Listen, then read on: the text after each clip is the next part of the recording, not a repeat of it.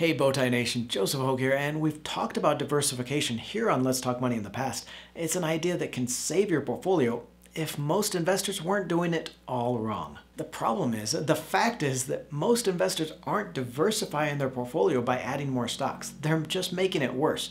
They're de- diversifying it. That's because just adding more stocks to your portfolio, you end up limiting the returns you can get and then putting yourself at risk for the worst of a stock market crash. In this quick video, I'll show you how to truly diversify your portfolio in less than five minutes. I'll reveal a step-by-step -step to lowering your risk without limiting those returns. Let's get started, but first, you know I gotta send that special shout out to all you out there in the nation. Thank you for spending a part of your day to be here. If you're not part of that community yet, just click that little red subscribe button. It's free and you'll never miss an episode. Now nation, there are actually two reasons diversification goes wrong.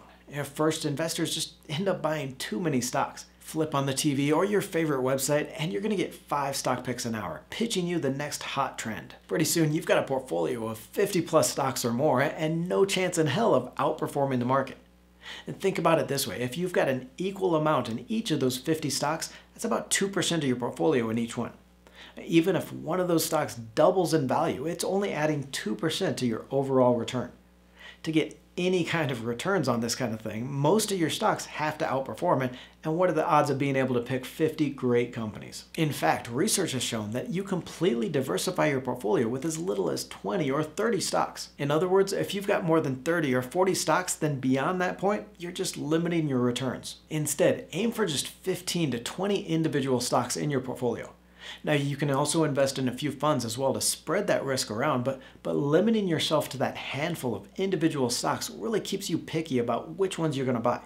You end up with only the very best of the best companies. Now the other way diversification goes wrong is investors have all their stocks in one sector or a theme and they all crash at the same time. Imagine it this way, even if you had 100 tech stocks, which you think would save you from the problems at any individual company, any, any individual stock, what do you think is going to happen to all 100 of those companies in a major tech crash?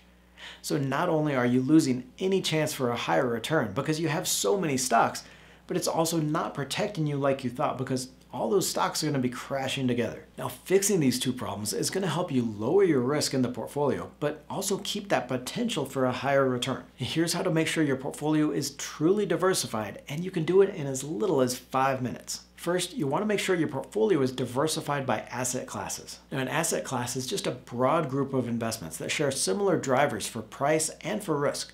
For example, stocks do pretty well with moderate inflation and follow economic growth as well as being easily bought and sold.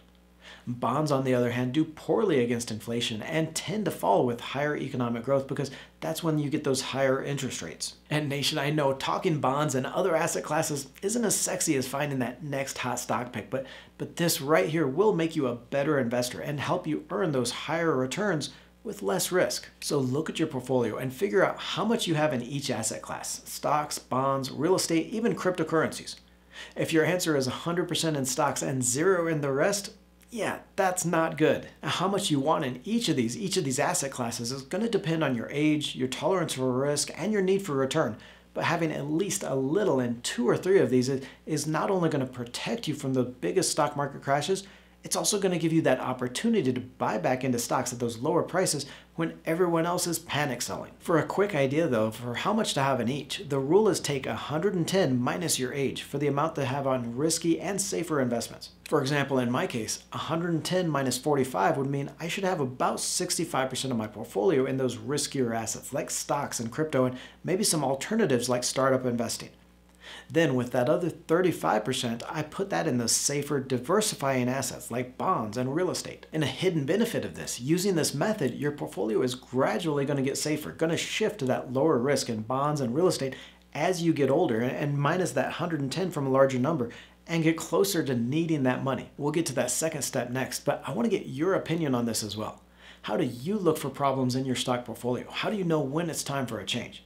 So scroll down and let me know in the comments below, how often do you change your portfolio and why? The second step here, we're gonna make sure that you're diversified within your stocks as well. You see the 11 stock sectors here, and they're just sectors of the economy that produce a common service or a need like utilities, energy, and healthcare. So just like those asset classes, each sector responds differently to factors in the economy and the stock market. So spreading your stocks around a little is, is to help you protect your portfolio. For example, stocks and utilities and consumer staples tend to be safer because these are things that people need to buy. They also do well when interest rates fall because it makes those dividend payments much more attractive.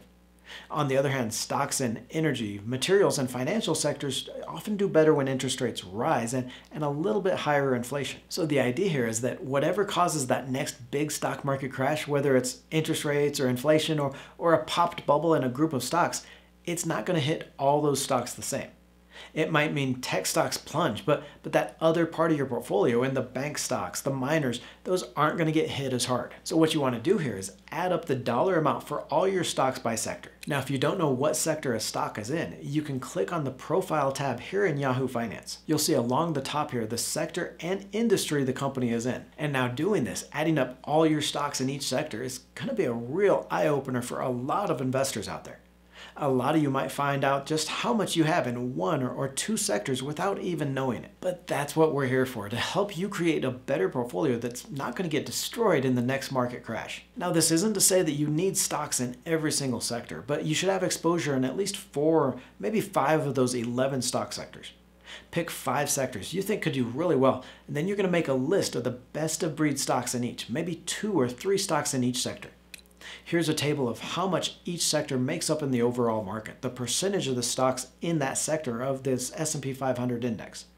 Now you can see it's a little overweighted to tech stocks, healthcare, and consumer discretionary, but, but spreads out across all 11 sectors. You also see examples here of the Vanguard and iShares fund that cover each sector. And now if you want ideas on which stocks are in each sector, we can go here to the tracker on sectorspdr.com. And all you out there in the nation are going to recognize this because it's one of my favorite resources for following returns by sector. But anyway, here you can click on any of these and see all the S&P 500 companies. That's the 500 largest companies based in the US and which sector they're in. Again, though, with just that 10 to 20 stocks total, you're still going to give yourself the opportunity to find those breakout success stories that are going to take your portfolio higher.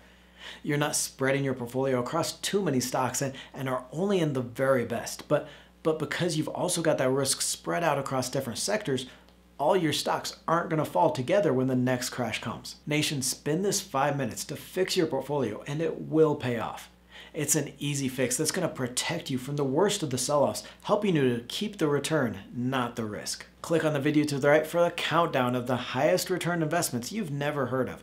Seven investments for low risk and high return that nobody's talking about. Don't forget to join the Let's Talk Money community by tapping that subscribe button and clicking the bell notification.